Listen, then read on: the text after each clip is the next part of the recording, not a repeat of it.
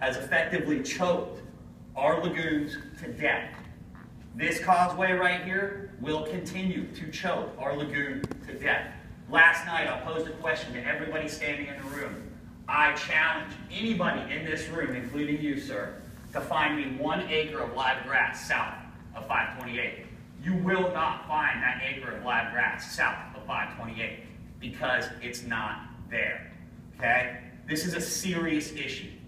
It's not, oh, well, it's going to be a little mitigation, a little this, a little that. This is a very serious issue. As this water goes, our area goes. And when this area goes, nobody's going to want to be here. As Mitch Roffer said, this isn't Miami. This isn't New York. This is Florida. And not only Florida, but this is our Florida. And we want to keep it that way. Okay?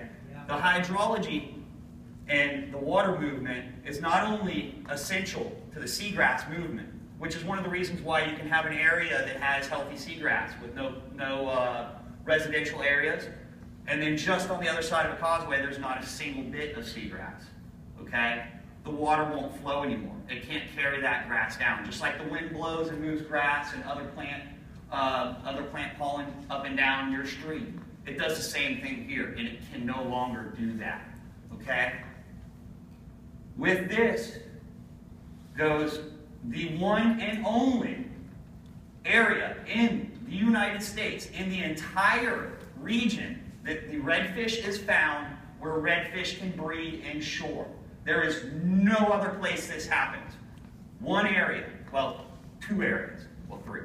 Right here, right here, and then the Mosquito Lagoon right above it. I've talked to several people, tonight included. We hardly saw a spawn this year whatsoever of redfish. What does that mean five years from now when there's not a redfish to catch in the slot limit? Okay? I would really like you guys to look at the patterns and the breeding patterns of the redfish that inhabit these flats that are directly affected by any of this rail production. Um, real quick, I want to tell a story. When my dad and my aunt, who's sitting in this room, uh, lived here as children, they got to eat oysters out of the river right here. Okay?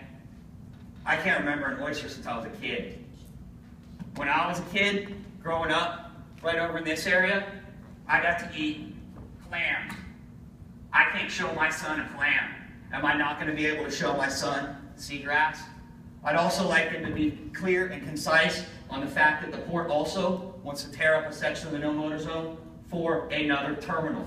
That is the long-term goal. That is where they're going with this. It will never stop unless we stop it here. Yeah.